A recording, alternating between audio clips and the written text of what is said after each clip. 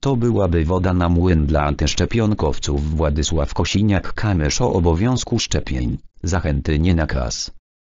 Epidemiczne środki ostrożności będziemy stosować przez wiele lat, jak nie przez całe życie, a całkowitego powrotu do poprzedniej rzeczywistości nie będzie, przewiduje lider PSL Władysław Kosiniak-Kamysz.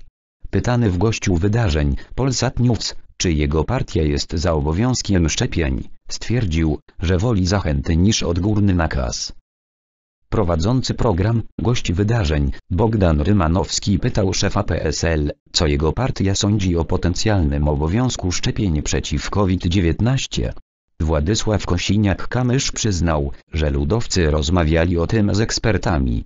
Kierowałbym się jednak w stronę zachęcania do przyjęcia preparatu, odpowiedział. Przyznał, że przymus przyjmowania szczepień przeciw COVID-19 nie byłby najlepszy.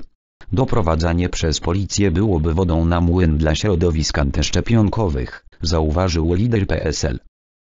Zaszczepisz się, masz więcej uprawnień, wolę taki sposób niż odgórny nakaz, bo ten drugi może być nieskuteczny. To będzie zachęta do korzystania z normalniejszego życia niż obecnie, ocenił w Polsat News. Władysław Kosiniak-Kamysz pytany był także o rozwiązania przyjęte na Węgrzech, gdzie z niektórych miejsc takich jak restauracje, czy baseny mogą korzystać tylko zaszczepieni.